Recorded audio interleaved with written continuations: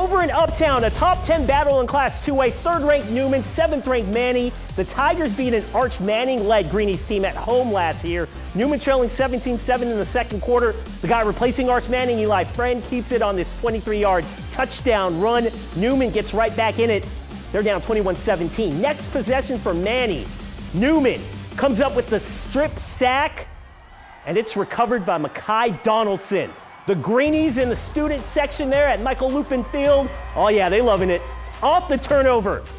Friend connects with his best friend, Peter Loop, for the 23-yard touchdown. Greenies take a 28-17 lead in the locker room, and Newman avenges last season's loss to Many, winning tonight 49 to 31.